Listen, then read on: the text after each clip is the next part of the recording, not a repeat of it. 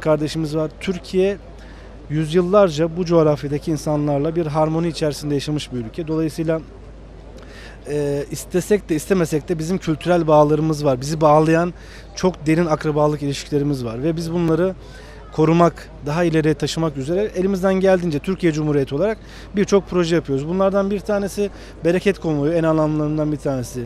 Diğeri Çok özür dilerim. Estağfurullah. Diğeri de e, hükümet kanalından olarak olmak üzere TİKA'nın az önce bahsetmiş olduğumuz Başbakanlığımızın projeleridir. Dört bir koldan Balkan coğrafyasında bütün e, diğer etki alanımızdaki ülkelerde faaliyet göstermeye çalışıyoruz. Çok özür dilerim. Sözünüzü kestiğim için süremiz doluyor. Çok teşekkür ederiz.